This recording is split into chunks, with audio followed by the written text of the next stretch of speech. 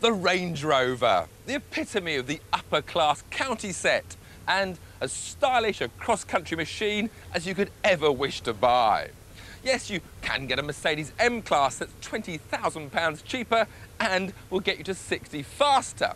But, well, but it's just not British. Nor, of course, technically is the Range Rover, since Ford bagged this prestige slice of the Rover empire when BMW flogged it off. But we'll forget that for the moment. This is the top-of-the-range Vogue model. And you're sitting in upper class from the word go, with your classic command driving position. You're surrounded by leather and wood, or at least something that looks like wood. There are buttons all over the steering wheel, buttons all over the dash, sat-nav, aircon. It's luxury all the way. But there is one drawback with the Range Rover, it's not just that 50 grand price tag. It doesn't like going round corners.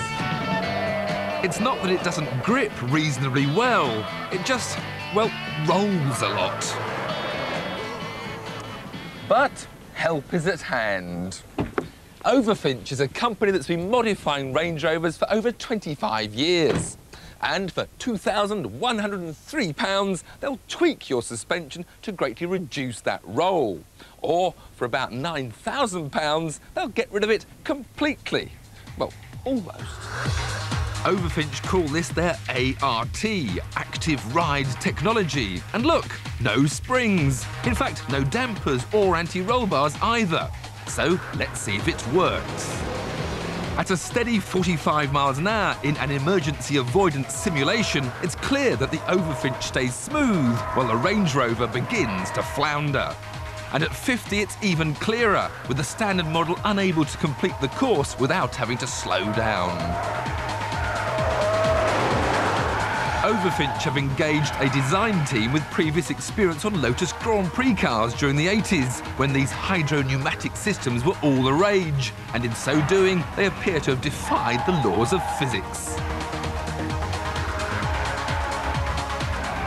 But does the loss of body roll ruin its road manners? Well, yes and no. With less roll, the Overfinch is far more comfortable to drive around twisting lanes and urban jungles. But when it comes to hitting potholes, whilst a standard car wobbles through it like a nice soft jelly, the Overfinch sends shockwaves jarring through the cabin. But given the choice, I'd rather be safer on motorways than more comfortable on mud tracks. Doubtless the off-roading capabilities of the Range Rover have been slightly compromised. But then, come on, who's going to do any serious off-roading in a limo like this? So the suspension works, but Overfinch haven't stopped there.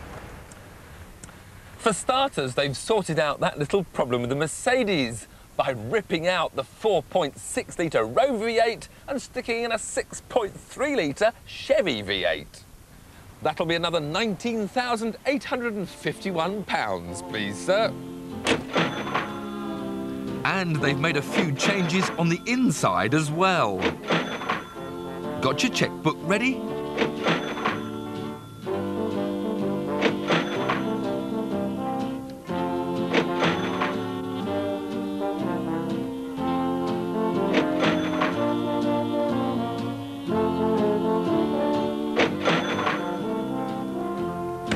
If your calculators failed to keep pace, Overfinch will save you the trouble by offering you this special limited edition silver anniversary model with all those options on it and a few more besides for a cool £85,000. Whilst the 400 horsepower the Chevy produces sounds impressive, you have to remember it's got two tons to push round and it really doesn't feel like it can reach 60 in the 6.6 seconds that they say it can.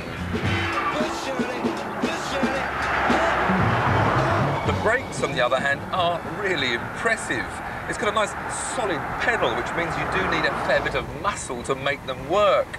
But hit them hard, and from 70 miles an hour, they'll stop you a full two car lengths shorter. And as for all the interior tweaks, well, I'm afraid it's all far too fussy for me. In fact, I actually prefer the standard model. Of course, you don't have to start with a new Range Rover. All these modifications can be done on any model up to seven years old. Overall, it has to be said the Overfinch is a bit over the top. But if I was a Range Rover owner, I'd certainly look to be reducing some of that roll and I'd have those extra brakes. But as for the extra power, I think I'd rather spend the money on a Lotus Elise.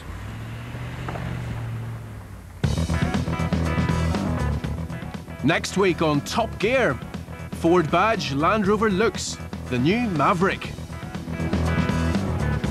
Gassing up our guide to the strange new world of LPG. And the Top Gear auction report. What am I bid?